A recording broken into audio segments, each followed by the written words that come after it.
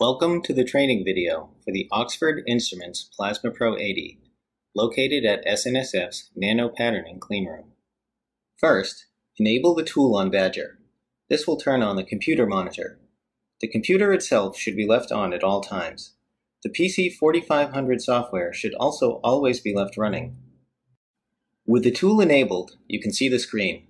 Usually, the software is left on the pumping screen, if the software is not running, then open it by selecting PC4500. Now log into the software using the username capital OPT and password capital OPT.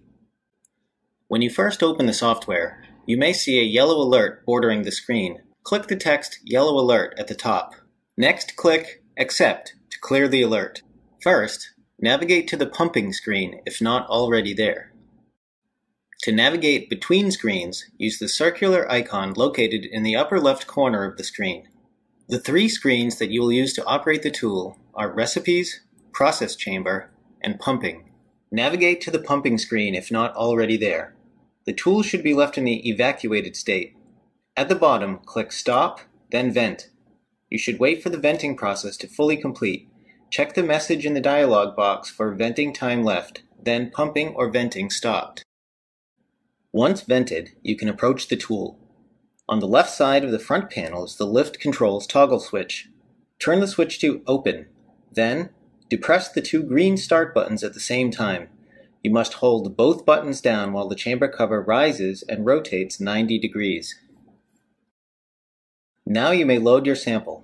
For smaller samples, consider using the vacuum oil and carrier wafers provided next to the tool to prevent your sample from moving around as the chamber is evacuated or vented again. A thin uniform layer of vacuum oil provides best heat transfer and protection against sliding. Vacuum oil should be confined to the bottom of your substrate. Oil on the sides, top, or outside your substrate may interfere with the processing. For larger samples, you may choose to use the glass slides located near the computer to make walls around the sample, to prevent sliding around during pumping and venting. Once your sample is loaded, turn the toggle switch to close, and again hold down both green buttons until the chamber cover has completely returned to its original position.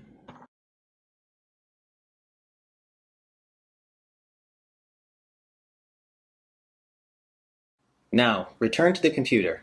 At the bottom, select Stop, then Evacuate. The chamber will now begin pumping down.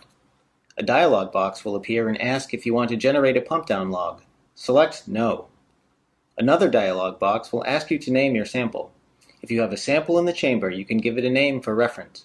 If you are evacuating with no sample in, perhaps to do a chamber clean or run your process chemistry to season the chamber, select Cancel. Once again use the circular icon in the upper left to navigate to the Recipes screen. The Recipes screen is divided into three main sections. The center section displays the currently selected recipe and all of the processing steps in that recipe. You may load existing recipes and edit them, or create new recipes from scratch. The right section contains the step library and is useful for quickly assembling a new recipe or editing an existing one. To edit the steps in a recipe, click on an individual line inside the recipe editor and then choose Edit Step. When you select Edit Step, it will immediately open a screen that looks just like the process chamber screen. On this screen, while editing a recipe, you can manually select all of the parameters for this step in the recipe. These fields allow you to select the time for this processing step. These fields allow you to set the process gases as well as their flow rates in standard cubic centimeters per minute. These fields allow you to set the chamber pressure as well as the RF power. Please note that there is no helium supplied to this tool, and setting helium backing will result in a process error. Also note that if there is no sample in the chamber, you must select No Wafer for a recipe to run. When you are done editing and ready to run your recipe, select Run Now in the top center section of the recipe screen. You may at this point navigate to the Process Chamber screen to watch the recipe run and monitor each of the steps. There are navigation buttons at the top left of the screen. These can be used to pause, run, or skip individual steps in the recipe if needed. Also, if you use the step hold function in a recipe, you will need to manually advance the step using the play button.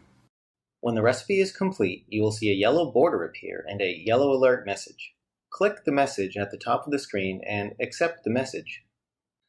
If you are done processing, then navigate to the pumping screen again and go through the steps to vent the chamber. Open it and remove your sample. When you have removed your sample, remember to close the chamber and also to pump it back down by selecting Stop, then Evacuate. Always leave the tool with the chamber under vacuum. Next to the tool is a logbook, where you should fill in the details of your process.